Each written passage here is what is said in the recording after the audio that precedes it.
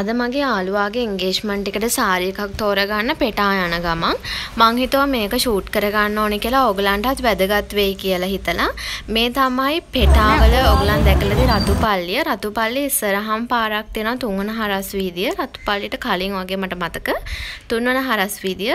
තුන්වන හරස් වීදියේ ගොඩාක් තියෙන්නේ සාරීස් වලට රෙදි ගන්න ෂොප්ස් තමා. අපි ඉතින් එහෙම ෂොප් එකකට ගියා.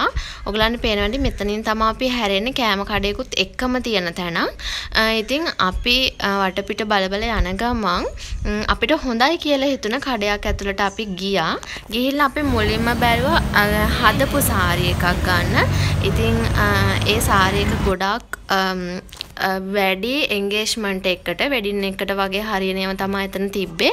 ඉතින් එන්ගේජ්මන්ට් එකට ගොඩාක් සිම්පල් වෙන්න ඕන නිසා අපි හිතුවා මැටීරියල්ස් අරගෙන සාරි එක මේඩ් අප් කරලා වෙනමම හදා ගන්න ඕනි කියලා. ඉතින් ඒ නිසා අපි මැටීරියල්ස් තමයි ගොඩක්ම බැලුවේ.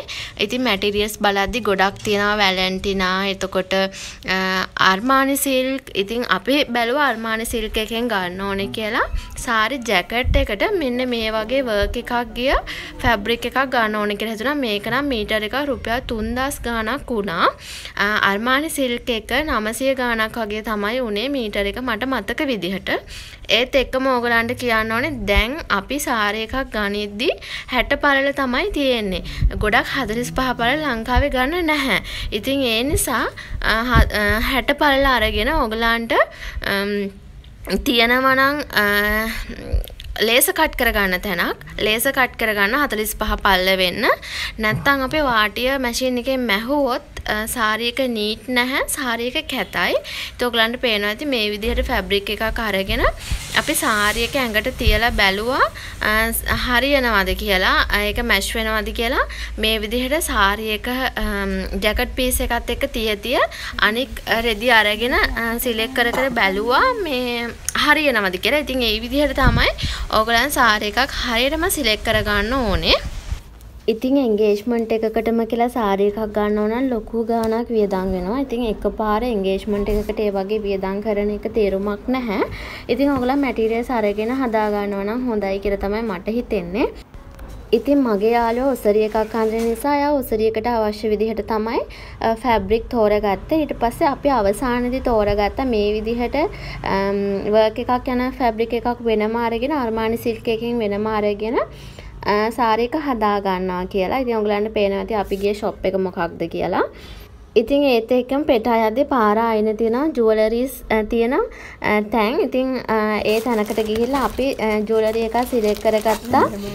සාරි එකේ අර ලොකු ෆැබ්‍රික් එකට ඒ කියන්නේ සාරි එකේ ජැකට් එකට නෙමෙයි අනික් එකට ගැලපෙන විදිහට මේ විදිහට ජුවලරිස් අපි බැලුවා.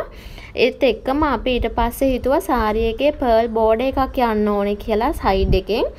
ඉතින් අපි පර්ල් බෝඩ් එකක් ගන්න ගියා. ඒ ගියත් රතු පල්ලිය ළඟම තියෙන කඩවල් වලට.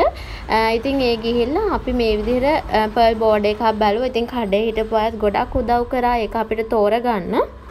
ඉතින් ඔයා මේ වගේ සාරි එකක් ගන්න යනවා නම් මුලින්ම ඔයා කැමති විදිහේ ෆොටෝ එකක් තියාගන්න. එතකොට ඔයාට ඒ විදිහට තෝරගන්න පුළුවන්. ඒ වගේම ගොඩක් දන්න කෙනෙක්ගෙන් අහලා බලන්න. ඒ වගේම ඔයාගේ කැමැත්තට කරගන්න. හැමෝගෙම අහන්න යන්නත් එපා. එතකොට හැමෝගෙම අදහස් මික්ස් වුණාට පස්සේ ඔයාට මොකද්ද කරන්න කියලා හිතාගන්න බැරි වෙයි. ඉතින් ඒ නිසා ඔයාගේ කැමැත්තට මුල් තැන දීලා දන්න කියන කෙනෙක්ගෙන් අහලා ගන්න. ඉතින් අන්තිමට අපි කන්න කඩේකට ගියා. ඉතින් පෙටා ගියාම අපි අනිවාර්යෙන් මේ සමෝසා කන්න නම් එනවා. ඒ සමෝස විතරක් නෙවෙයි එතන තියෙන හැම දෙයක්ම ගොඩක් රසයි. ඉතින් අද වීඩියෝ එකත් එක්ක රැඳිලා හිටපු ඔයාලා හැමෝටම ස්තුතියි. අලුත් දවසක අපි තවත් වීඩියෝ එකකින් හමු වෙමු.